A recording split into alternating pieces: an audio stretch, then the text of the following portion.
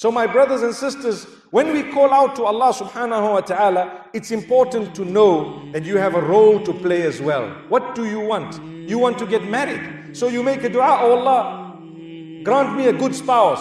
But you have not bothered to look for anyone. You have not spoken to anyone. You have, for example, some of the sisters and some of their families believe that a female needs to just sit back and wait for a proposal to come in her direction when no one knows you exist, subhanallah, and people are just greeting you every day, not even knowing what has happened. Your father never went out to try to talk to people who have sons, for example, or to look out for lads and so on, good people.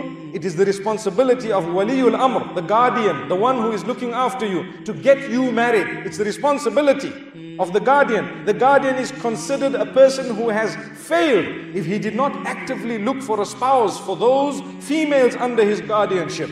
So for us to just sit back and say, you know what, your prince, and I've heard this statement, your prince is already predestined. He will look for you and come to you by the will of Allah subhanahu wa ta'ala. You know what? It might have been predestined that your prince would probably maybe only be in the akhirah.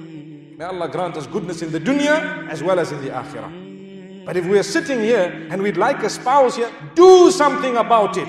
Say the name of Allah, seek the help of Allah, but actively search for a, a, spouse for those under your guardianship. It is a duty upon you.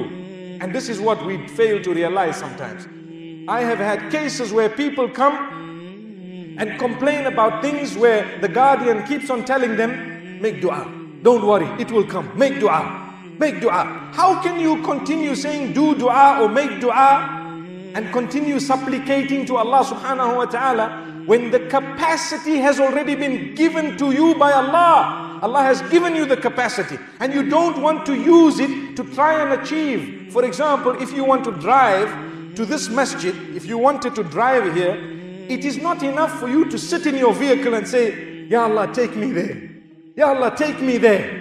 Ya Allah, I beg you to take me there. Ya Allah, I'm giving a charity, take me there. I'm reading this surah, take me there. I've given so much, Ya Allah, take me there. I'm your worshipper, take me there. I want to worship you, make it easy for me to go there. You have to turn on the vehicle and you have to drive. As simple as that. But sometimes we do not realize that in life we use the opposite of that when it comes to achieving other things. Why? This was common logical example of driving. Allah gave you the car, Allah gave you the energy, you have the driver's license, you know where the place is.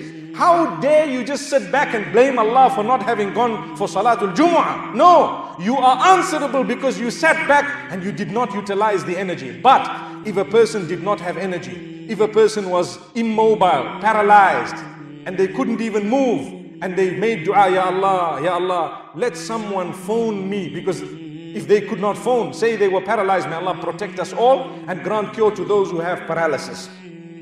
May Allah grant cure to all those who are sick and ill as well. So my brothers and sisters, if a person is totally paralyzed, they can then say, Ya Allah, send someone to pick me up, Ya Allah. That's fair enough because then when someone comes, it will be from Allah subhanahu wa ta'ala. And if nobody comes, the person is sinless. Why? Because they cannot achieve what they wanted to achieve. They had nil in terms of capacity. But the minute you have the capacity, you must use it.